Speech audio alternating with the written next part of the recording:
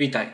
W tym filmie zaprezentuję Ci różnicę w Adobe Premiere Pro, kiedy to mamy kartę graficzną z architekturą CUDA i różnicę, jeżeli tej karty nie posiadamy i nie możemy skorzystać z takich przywilejów.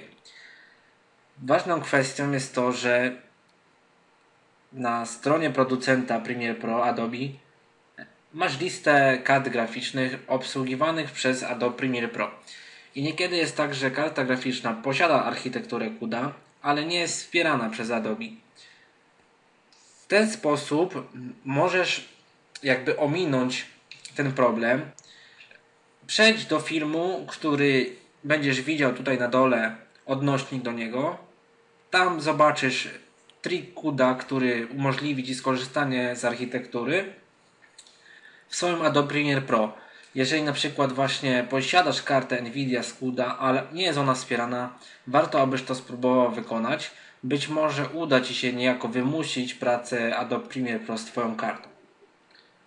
Tutaj poruszę też kwestię tego, jak przygotować ergonomikę pracy w Adobe Premiere Pro, bo o tym też jest wpis.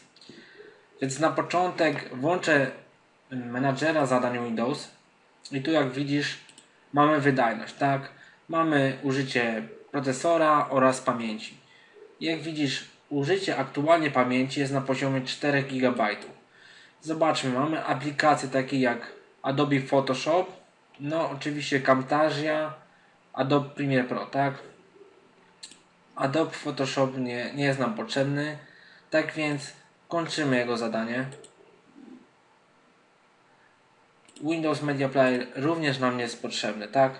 Więc wyłączamy te aplikacje, które są nam zbędne podczas montażu wideo.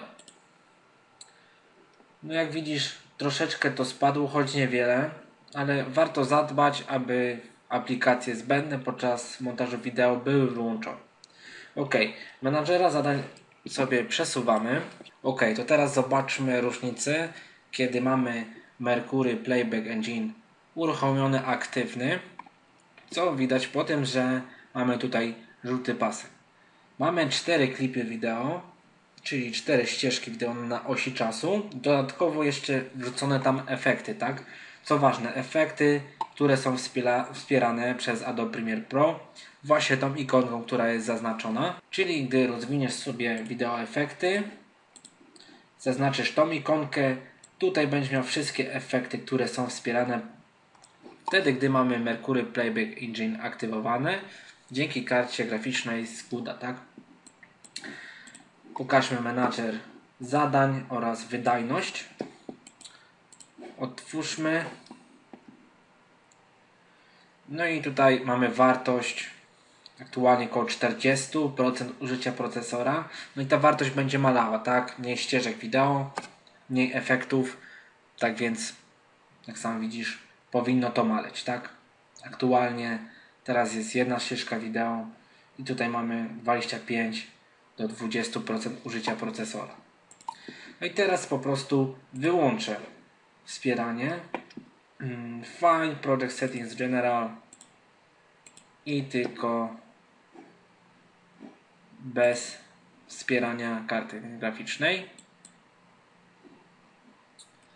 Nie wiem dlaczego tutaj mi się została jakaś wartość, aby było wspierane Mercury Engine Playback, ale nie szkodzi. Tutaj mamy czerwony pasek, który oznacza to, że aby był płynny podgląd, należałoby przerenderować ten obszar. Druga połowa jakby była wspierana jeszcze przez Mercury Engine Playback. Nie szkodzi, zobaczymy teraz różnicę, kiedy jest wyłączone właśnie to, że tylko procesor pracuje nad naszym materiałem, naszym podglądem, a nie karta graficzna. Aktualnie karta graficzna nie wspiera podglądu. Odpalamy. Jak sam widzisz, użycie procesora 100%, tak?